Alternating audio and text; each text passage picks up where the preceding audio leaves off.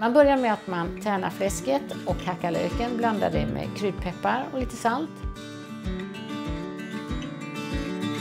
Sen skalar man potatisen, river den och när man har rivit potatisen häller man av det i en silduk och kramar ut till en torr massa.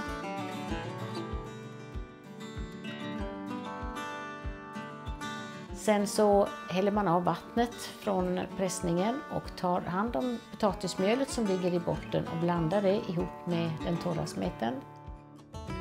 Så tillsätter man kokt pressad potatis, lite grann askorbinsyra och lite grann potatismjöl.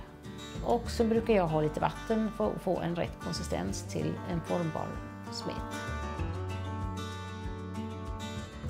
När man ska göra kroppkakan sen så tar man eh, smet i handen, rullar till en liten boll och plattar ut den.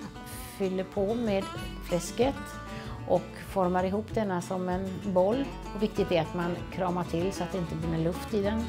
Lägger den sedan i eh, lättsaltat vatten som kokar och sen ska den sjuda därefter i 50-60 minuter. Den öländska kroppkakan är unik för att den finns inte någon annanstans och att den äts på lite särskilt vis på Öland.